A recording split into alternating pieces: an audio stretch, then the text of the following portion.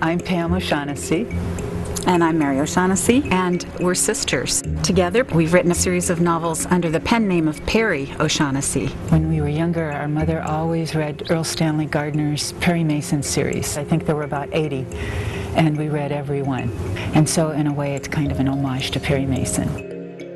Our latest novel is Show No Fear. It's the 12th in a legal suspense series about Nina Reilly, and she is really very loosely inspired by Pam's experiences as a lawyer. This particular place I worked, South Lake Tahoe, California, all kinds of strange events occurred because people were on vacation or on the lam, hiding or or out to commit a crime when they got there.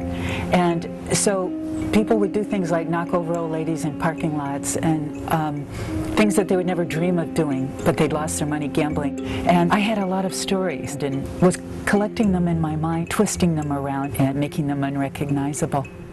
I started my legal career in Carmel. This is where I learned criminal defense. And as our story opens in Show No Fear, Nina is running up these stairs after a very full lunch hour of trying to take care of her child and her law school problems and everything else in her life. So we are entering a very active period in Nina's life.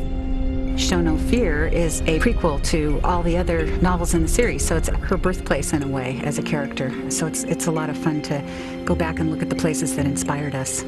This is the Monterey County Courthouse where Nina and her cronies practice law.